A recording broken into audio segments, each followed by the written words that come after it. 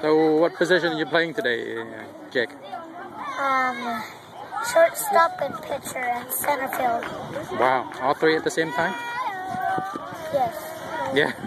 How do you do that? With speed. Give me a wink. Wink, wink for the camera. okay, that's enough.